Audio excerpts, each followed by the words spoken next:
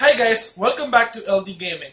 So on our very first episode of Tech Date, we will talk about the Galaxy S9, the Notebook 9, Battlefield 1, the newest iMac Pro, the world's most famous tech, Intel Inside, the GP of the year, and AMD. So let's jump in!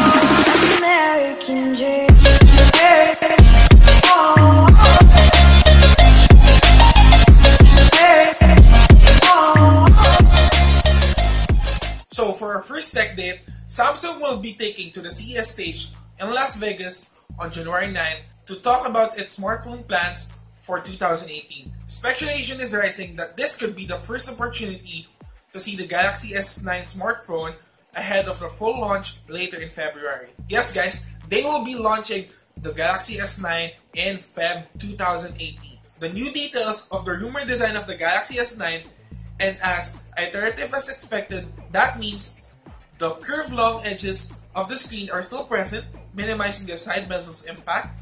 The top and bottom bezels are reduced from the Galaxy S8 and Note 8 design, offering an even more frontal space of the screen. So, meaning guys, there's a bigger aspect ratio coming to you for the Galaxy S9. So for the rear, the rear of the device shows not only the camera housing but also a repositioned fingerprint sensor. Yes, guys, there is no fingerprint sensor on the screen yet because uh, they say that the technology is not yet ready for the under-screen fingerprint sensor. So staying with the rear-mounted sensor is the only smart decision for the S9. And moving it away from the camera lens will stop smearing and reduce image quality. So that's something I guess. It looks like the Galaxy S9 will be staying with a single lens camera, skipping the dual lens effort of many, but not all, um, competing headsets. It may be that the dual lens is reserved for a larger Galaxy S9 Plus. So, moving on to our next tech date, guys. Samsung refreshed its Notebook 9 series of laptops earlier this year, and the company is getting ready to do the same for 2018. Samsung is unveiling three new models today, December 14, 2017, instead of waiting for CES next month where we typically see a number of new laptops. The first is Samsung's Notebook 9 Pen.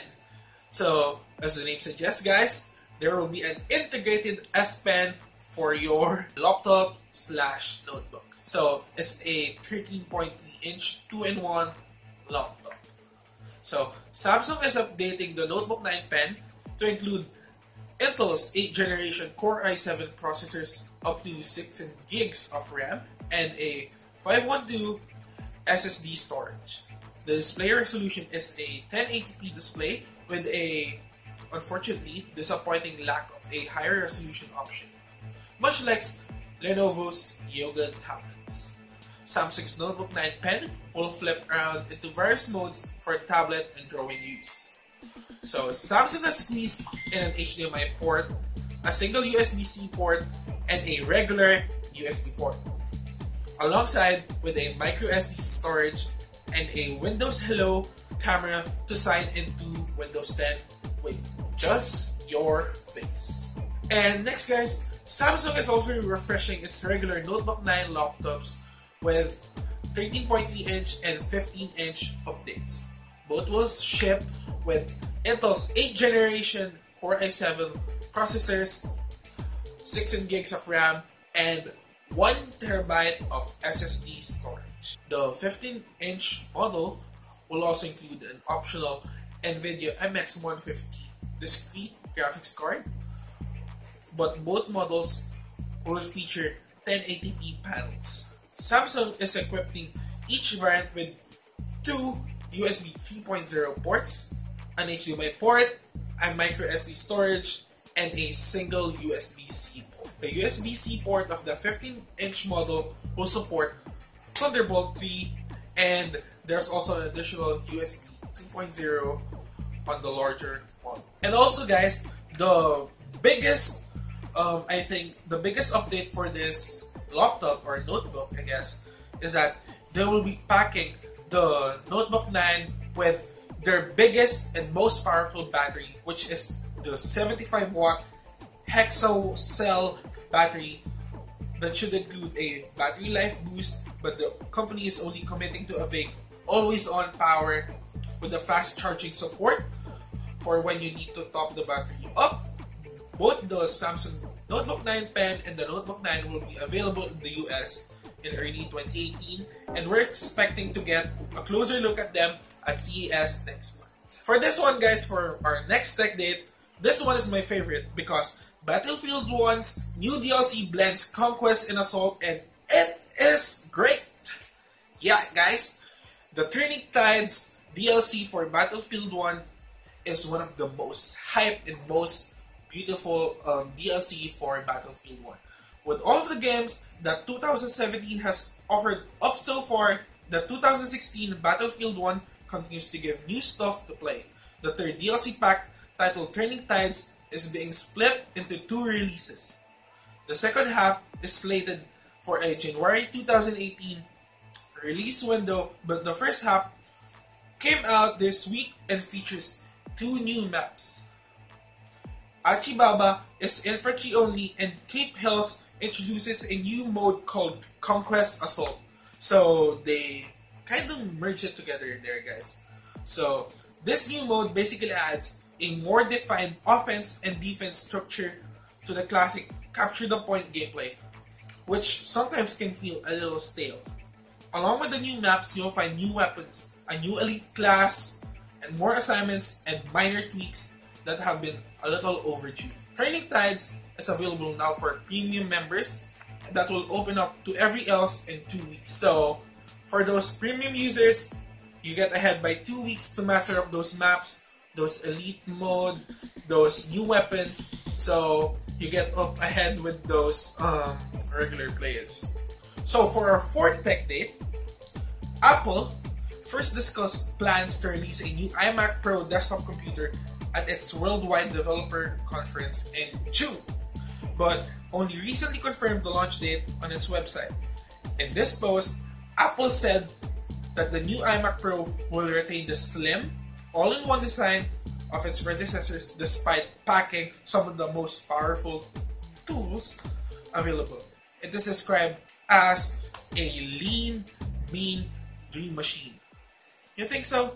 So, if you think so that it's a lean, mean dream machine, comment down below on your comments on this, guys. So, key additions include an Intel Xeon processor with up to 18 cores and up to 128 gigs of RAM, a 27-inch Retina 5K display, a space gray colored finish, and 1 terabyte of storage, configurable up to 2 to 4 terabytes of data. So, yeah, I guess that's a lean, mean dream machine, guys.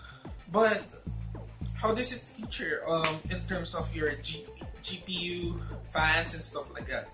So, the iMac Pro is also set to feature a dual centrifugal fan system designed to create more airflow and AMD's Radeon Pro Vega graphic chip, described as over three times faster than any iMac GPU. So, yeah, they're gonna use the new AMD Vega GPU. So, I guess that's really a mean G machine, guys. So, Apple will give customers the choice to buy the iMac Pro with an 8, 10, or 18 core processor. The entry level version, though, will retail at a whopping 5,000 US dollars. So, for our fifth tech date, the world's most popular piece of tech in 2017 is the iPhone 8. Yes, guys, it's not the iPhone X or the iPhone 10. With all the talk around this year's iPhone lineup initially focused on the X and its unusual notch, Google has revealed that, contrary to the hype, iPhone 8 was the most searched piece of tech across the globe during 2017. So, moving on to our third to the last tech date, Intel Inside. OEMs are at risk of losing valuable Intel sponsorship benefits such as marketing exposure, price subsidies, and channel compensations should the Intel Inside program be defunded.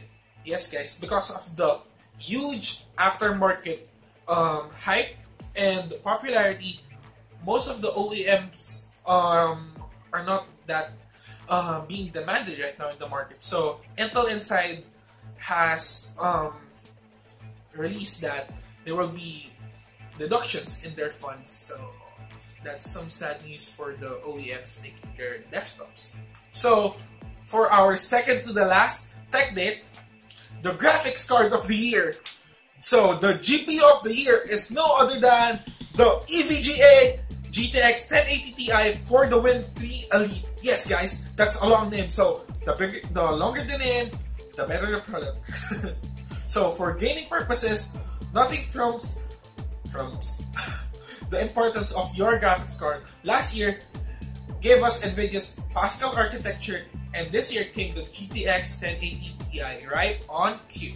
While it has less memory than the Titan X Pascal that preceded it, the 1080 Ti has the same number of CUDA cores, had higher clock speeds with a price that's actually in the realm of the possible.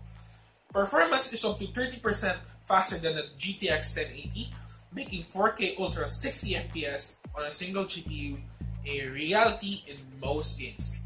Yes, guys, in most games. So, which 1080 Ti is the best? In truth, they're all good. I haven't seen a single card that, that I couldn't recommend. Well, but while the liquid cooled cards might be nice if you're after lower temperatures or reduced fan noise, I'll take a good air cooled card anytime. Even among air cooled models, it's difficult to pick just one. But this year's best graphics card goes to EVGA's GTX 1080 Ti for the win 3 Elite Gaming. So, down to our last tech date, least, AMD. Yes, guys, AMD is back on track. So, AMD's Fenghuang APU. So, something pretty interesting popped out on the SiSoftware Sandra database recently. A very large APU that has a branding of AMD's next generation Avian roadmap, codenamed Feng Wang. This APU houses a very large number of CUs, 28 to be exact, with roughly 1,792 SPs, making it one of the largest APUs we have seen so far. This appears that the APU for desktop that we know has been in the pipeline for quite a while now. AMD has always chosen very interesting nomenclatures for its products. Yes, that's a weird word there, nomenclatures. So for easier pronunciation, guys, it's just codename. Based on alphanumeric sequence, AMD has always opted for naming its pet products after something real. The Avian nomenclature series is no different while it starts from the 40 nanometer process it carries on into the 7 nanometer node as well. Fenghuang is or are are mythological birds of East Asia that train all over the birds according to Wikipedia. And this indicates the importance of the product to the company internally. The entry list the AMD Fenghuang as the primary platform and the CPU in question is a Ryzen part.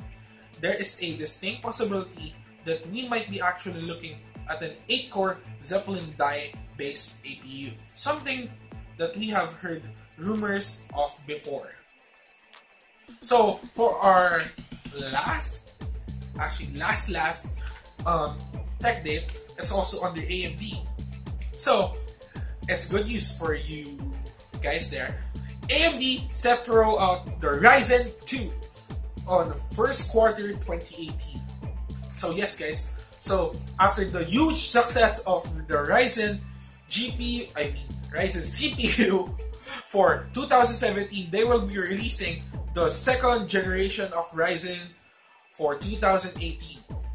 AMD's Ryzen CPUs have been a huge success throughout 2017, but it is time to start looking towards the company's plans for next year.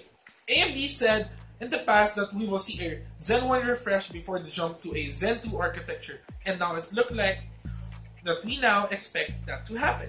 So as part of the present of the recent representation, AMD began showing its lineup of Ryzen processors for 2018, which will kick off with Ryzen 2 in quarter 1. This means that January and March, between January and March, we should be see we should see these processors launched.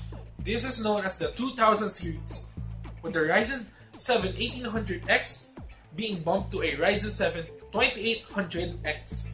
The 1700X replacement will be the 2700X and so on.